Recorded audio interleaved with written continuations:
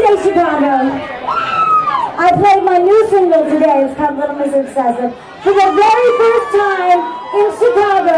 So give it up for Chicago. So that was pretty cool. It was a proud moment.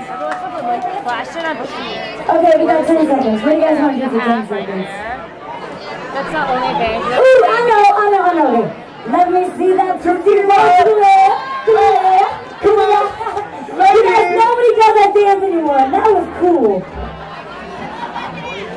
All right, this song is called Boys.